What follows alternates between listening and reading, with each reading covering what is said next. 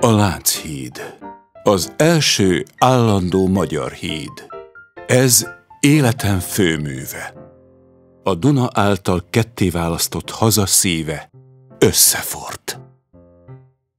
Egy szomorú téli nap kezdődött minden.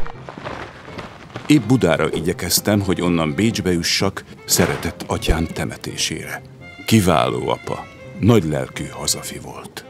Teljes könyvgyűjteményét és műkincseit hazájának adományozta, megalapítva ezzel a Nemzeti Múzeumot. Hol van a révész? Hamar! Át a folyón! Kapitány úr, ilyen erős zajlásban nem lehet átkelni. Ott a teremtette! Ekkor végleg eltökéltem. Kőhíddal kötöm össze Pestet és Budát.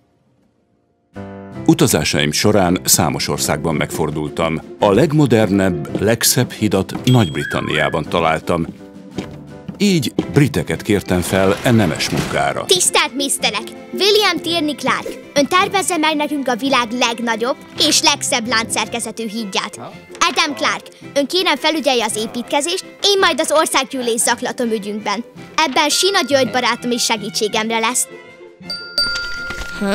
What? Az a másik Clarké. Sorry, sirs! Aha. Nézzék el a kíváncsiságunkat, de önök rokonok? Csak névrokonok. Három évbe tellett, mire letehettük az alapkövet. Ott volt a reformkor színejava. A Lánchídon mindenki egyenlő mód fizet az átkelésért. Paraszt, nemes, ugyanannyit. Egynek minden nehéz, soknak semmi sem lehetetlen. Barabás művész uram, hogy állunk? Mindjárt kész. Festők. 1848 nyarán az utolsó láncszemek beemelésénél az egyik emelőcsiga lánca elszakadt.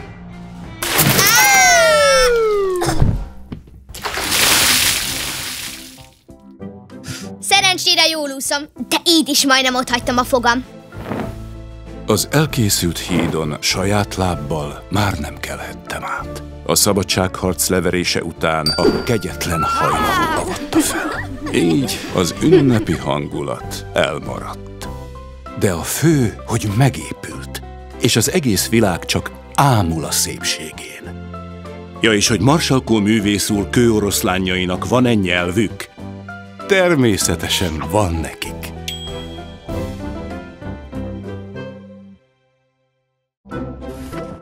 Tarts velünk és fedezzük fel együtt, hogyan válhatsz te is igazi hőssé.